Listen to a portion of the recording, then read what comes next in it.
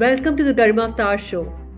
In today's episode, I have with me Alisha Abdullah, the first female racing champion, the first lady president awardee, first woman racing team owner and entrepreneur. And now she's a politician too. Thanks for joining me, Alisha. Such a pleasure to have you on my show.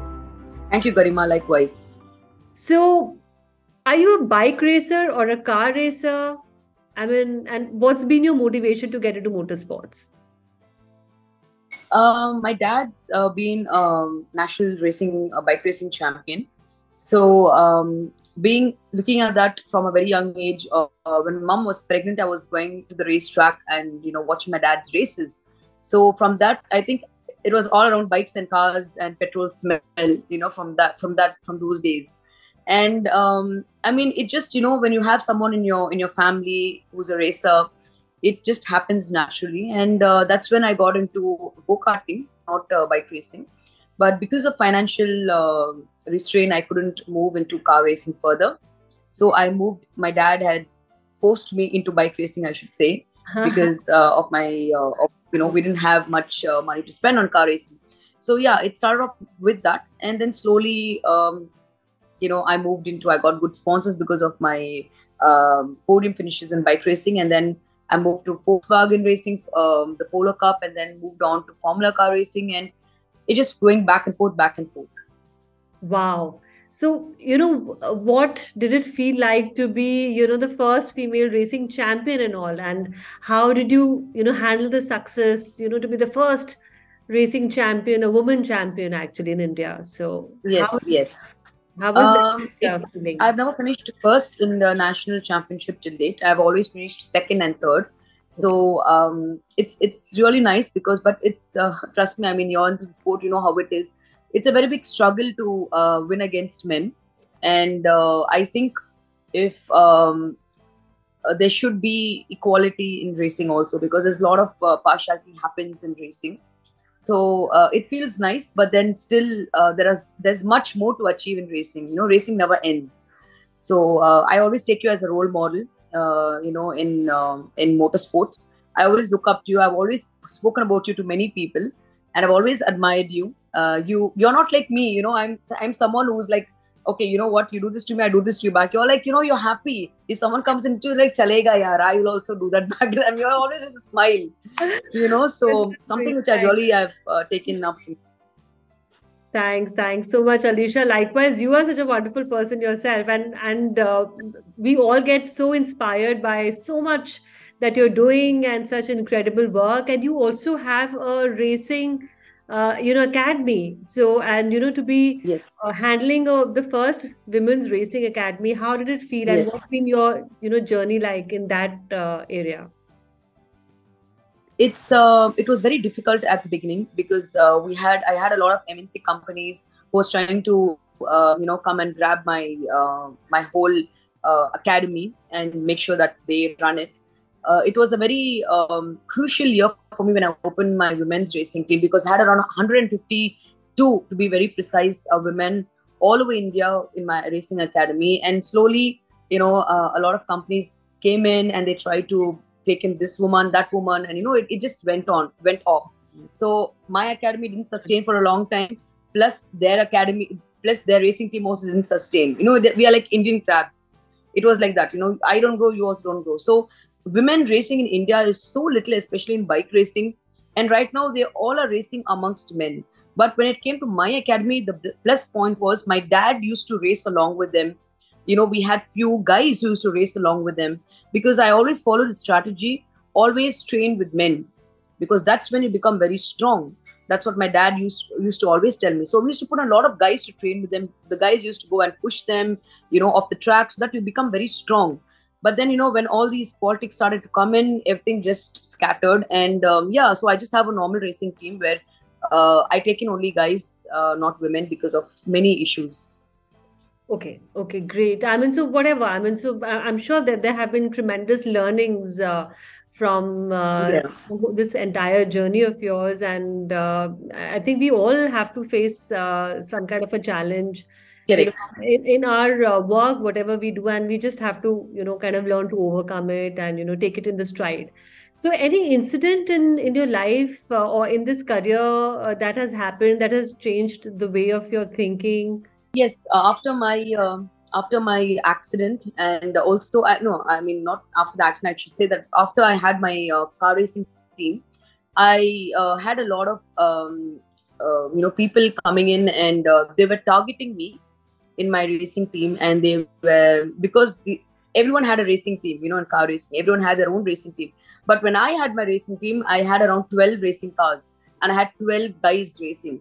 So you know how it is, right? The other team tries to get my racer. So I had I faced a lot of challenges and it was a very uh, again it was a very crucial thing because uh, I used to uh, face a lot of um, legalities when it came to on the racetrack. You know, um, to the in the officials. I used to face uh, them. I used to face.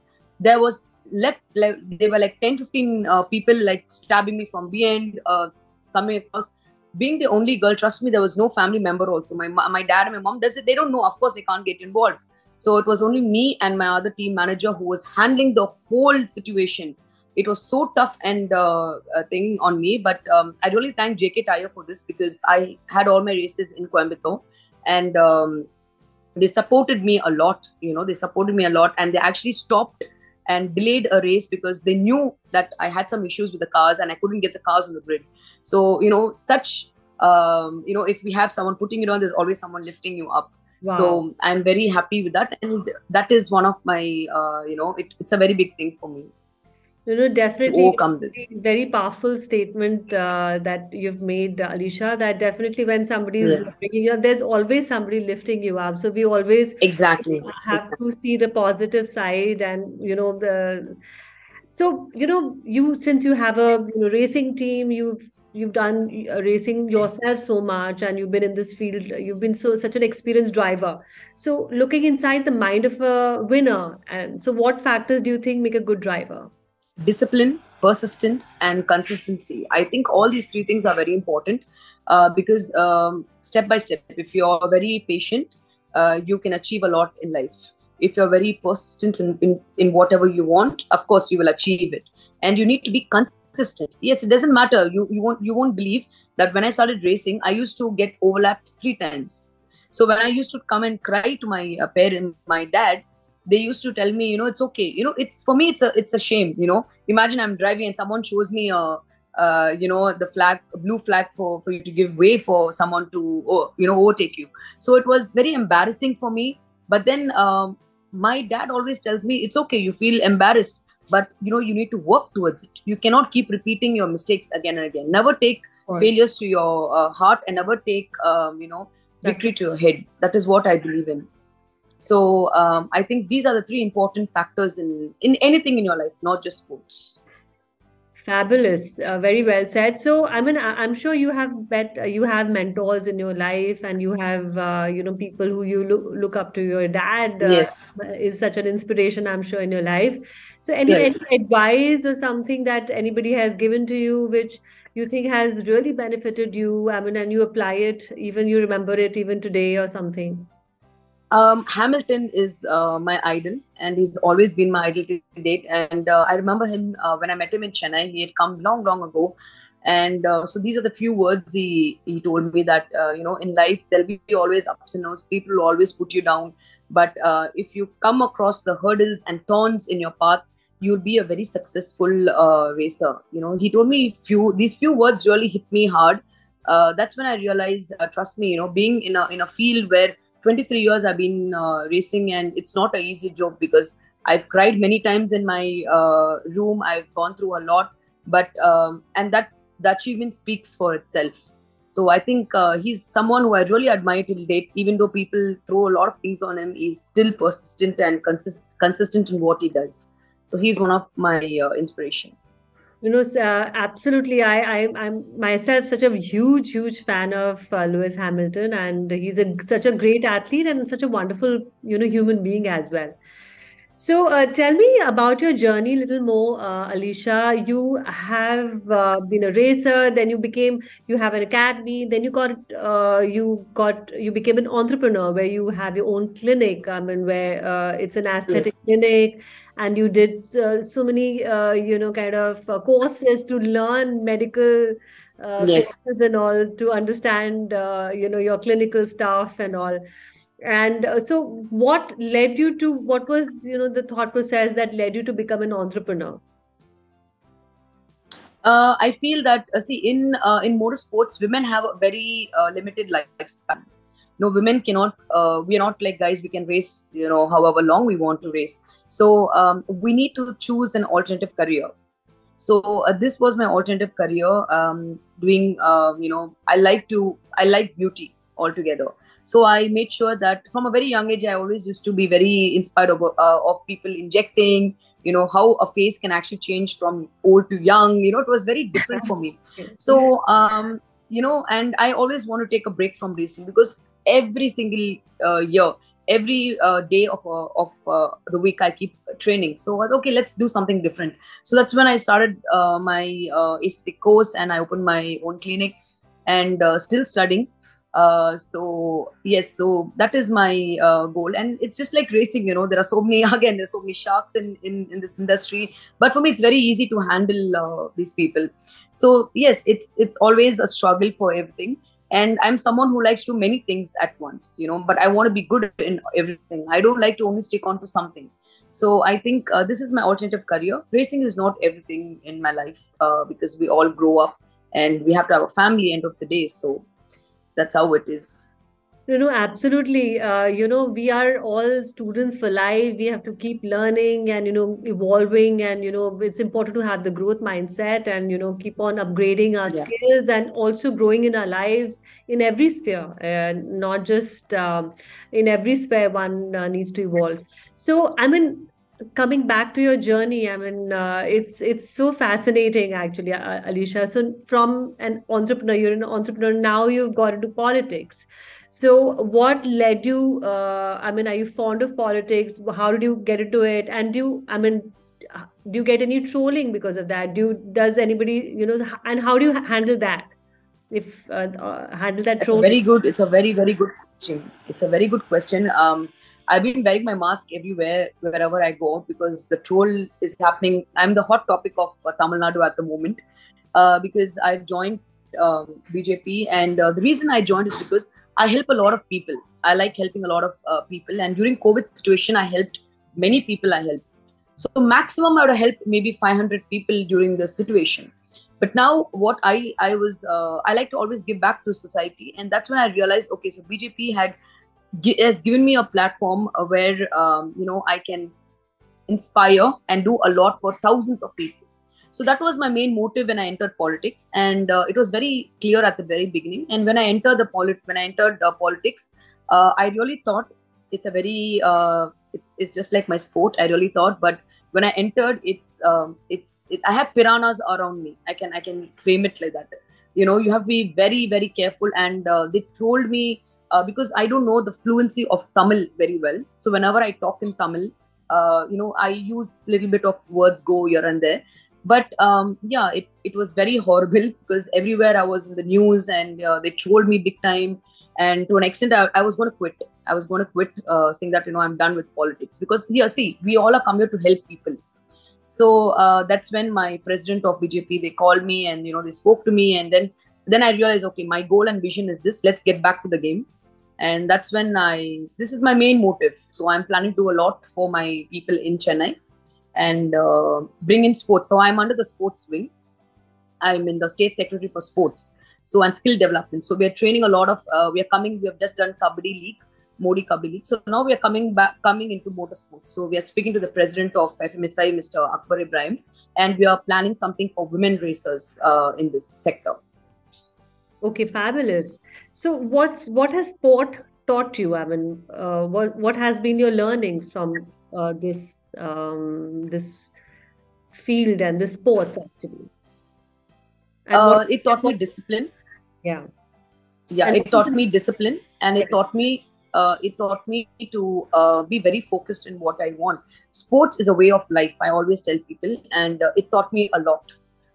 It taught me everything in life. You know, uh, what I couldn't learn in my school, I've learned it from racing because the discipline, um, you know, your uh, your focus is very important in racing. Being a racer, every, everyone can be a racer. I mean, you know about this, you know, but being being in that uh, you know that mind frame and being su- successful, not many people can so that's when i uh, i learned many things in in uh, racing and i feel that it applies in everything in my in my day. If i have to be 10 o'clock anywhere 9.50 i am there.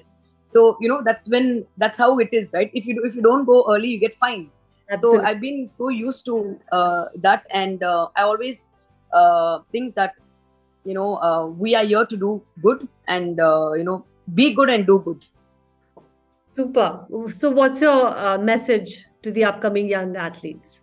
Um, uh, keep your head always, you know, uh, high and keep your leg to the floor. I always tell people that because I think uh, women, a lot of women racers at this point of time, uh, just they they win a race amongst girls and they they feel that they won the world championship. You know, I think it's very wrong the way women races are going in India. Their the whole mindset. I think people should change the attitude of how they see because India is still lagging in racing if you say racing, I've, I've watched W Series live, I've uh, watched people racing, women racing live. Their level of racing is some other some other level. Indian women racers are even the guys are very you know we are here and they are there. So people should uh, train more with the men and they should they should focus on what they want. I feel that there should not be any women's class. They should always be. I was talking to even Akbar uh, uh uncle and I was telling him, please don't have women's class. Make sure the girls go with the men and race that's when your the motorsports will definitely improve in India. We can have many women or even guys representing India in the world championships. Super, super. Thank you so much. So uh, there are some rapid fire questions, like you know, quick, quick one line yeah. answers. Uh, so, are we? Are you ready for that? Rapid. Yeah, sure. cool. Okay. Uh, your favorite quote? Live and let live. Your role model? Uh, Lewis Hamilton. Documentary film that inspired you the most? Um, the documentary film uh, Pele, the footballer Pele. That was a very good. Uh, I like the movie a lot. It inspired me a lot. Craziest thing in racing? Craziest thing in racing is um, I raced bikes in the morning and uh, in the afternoon in Coimbatore, I used to come back, drop the bike, and get into the car. So I had no clue. I was so young that day. I, that those times I, I had no clue where I was going and what I was doing. So that was really crazy back then. Okay. One hidden talent. Uh, one hidden talent. I can cook and eat at the same time. You can Come on, that's a talent. You can cook and you can eat at the same time. Okay, fabulous. What's your biggest dream? My biggest dream is um, I want a lot of women to uh, represent India in the field of motorsports, and uh, definitely I want um, motorsports should be always number one in the world. That is my dream. I, hopefully, I, I, you know, I contribute something to the in motorsports fraternity. Uh, best racing memory uh, best racing memory is when I um, broke my leg. I uh, after my post surgery, uh, the next day I went training, and uh, the same week I went for racing. My car was uh, all the four tires, all the four, all the two tires were punctured, and I came second with a broken car with uh, 30 guys behind me. So that was my the best time of my life. Fabulous! Oh my yeah. god, amazing. Okay. I know. I can. I can send you some, show you some photos. Yeah, yeah. Please do. Please do. Most embarrassing moment? Should I say that? Okay, my most embarrassing moment is I wanted to pee very badly and I had to come. My podium finish was there. I dropped the car and I ran to the restroom. so uh, that was my most embarrassing because everyone seen me. Everyone was there when when they seen me run to the toilet. Imagine my helmet, I'm running to the toilet. that was very embarrassing, but doesn't it's nature's all. It's all. Uh, favorite race car or bike? Uh, my race car, uh, I mean, to be honest, I like all the race cars, but I like like the Lamborghini uh, a lot on the racetrack. And uh, the race bike is uh, definitely a Ducati because they are really quick and fast. Um, yeah, these are the two things which I really like. Proudest accomplishment so far?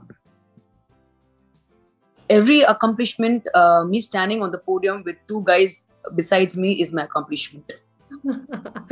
It takes a lot to stand on. Trust me, yeah, it takes yeah, a lot. Absolutely, absolutely, absolutely. Superb. Amazing. And with this, we come to the end of the show. Thank you, Alisha, for joining me in this absolutely amazing session. thank you so much, Garima. And uh, thank you all for listening to today's episode with your host, Garima Avtar. If you like this episode, then subscribe to my podcast for more new episodes and a deeper dive into the world of motivation and winning psychology. See you in the next one. Have a great day. Bye.